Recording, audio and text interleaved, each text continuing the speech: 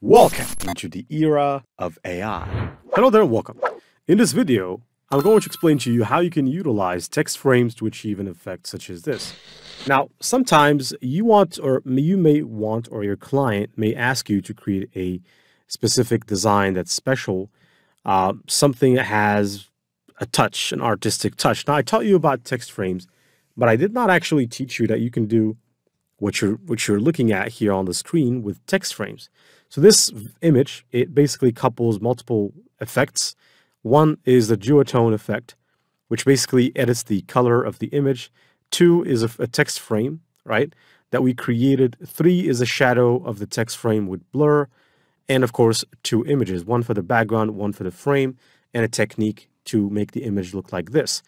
This image is three-dimensional, and it's clear what it means. And basically, you can start using this kind of, you know, these kinds of things to create interesting effects. Of course, there's many effects that you're going to learn in this particular course. It's not short of effects. You're really going to master them all. But in, in case you want to come across as artistic, also as an expert in your field, you may want from time to time to design things like these to showcase your mastery. So let's go and do this, shall we? It's not going to take us that long.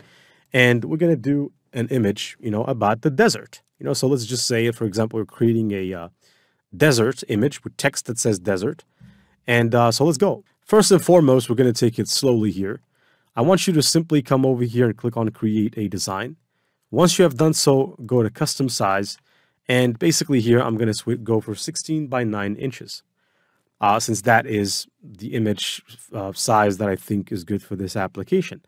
Second is we're going to write a text that says desert in a font, solid font. Um, so let's go ahead and do it. All right, so here we have text. All we need to do is to make sure we click this particular text right over here. So let's just click it. Now, at once you click the text, you need to come over here and just go to caps lock and write desert. Now, once you've written desert, here's the thing. I'm going to click here and switch the font by selecting a different font uh, we're not going to go over fonts again and how you can find them. We've went through the process of, uh, or everything, uh, we've explained everything about the Canva interface. And of course, once it changed, we can make some update uh, videos regarding that. But now as I have changed this to League Spartan, I can, I can come over here and just start simply making this bigger. So once I make my text bigger and I think this is good, we can come over here and download this with a transparent background. Again, I don't want to go over the transparent background, the solution I've shown you for free Canva users, which is basically using the Canva app here inside of the app, which is the background eraser, or the remove.bg tool. I'm going to download this with a transparent background. And now once I have my transparent background, I could honestly just get rid of this. So I just can, I can click it, get rid of that, and go to Photopea. Now inside of Photopea, you can click open from computer and all you need to do right now is to select that particular text which you want to open from computer.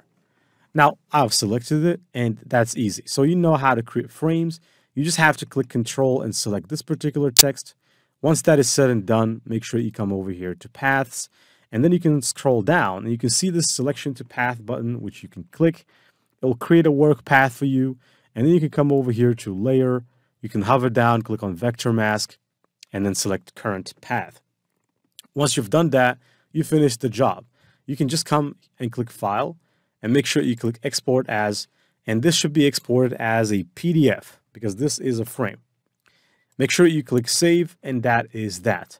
So now this is done.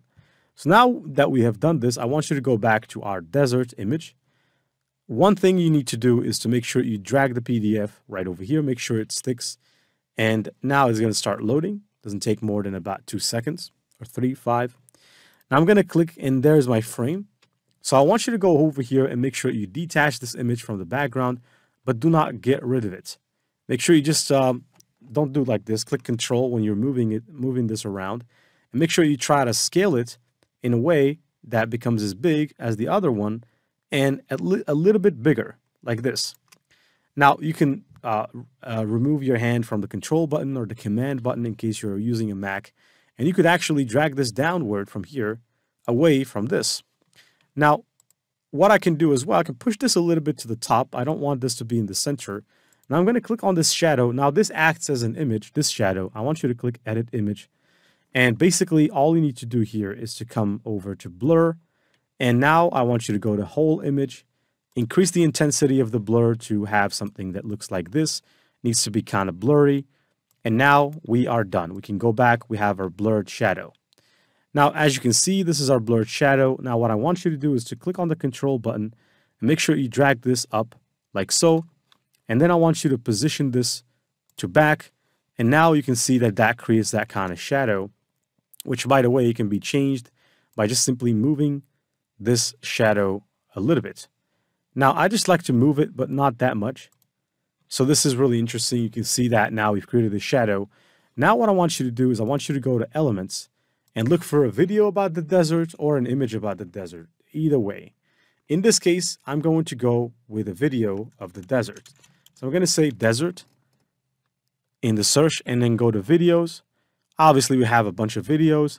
And I'm going to pick the video with the camels, except for I think I'm going to be going with this one right here because the camels are exactly in the level I want them to be.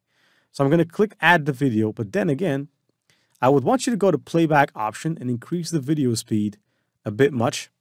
And now you can also go and edit this video by adding a festive background, for example, to kind of, you know, make the colors a little bit better. So I'll just click here and make it festive. And by the way, if you want to use duotone, you'll not be able to do it for this, but you can control the tint and saturation. All these, these factors play in changing the color except for they don't do a pretty big job. So I'm going to take this particular video. Now notice one thing. When you when you click the video from here, it applies to the frame. But when you pick it from a place where your mouse, mouse is not inside of the frame, your mouse is here, if you pick it from here, it doesn't apply. But if I pick it and drag it here, it applies. So hope that makes sense. Or you can use the control button if that doesn't work for you. Now I'm going to drag this over here and I have to remember precisely where I've dragged it. So now I think that this fits because it's it's exactly the size I want it to be. So that's pretty interesting. Now that I have my video over there, what I want you to do is just go and trim this because I want to obviously turn it into a GIF that I can use later. And then I'm going to click done on 6.2 seconds.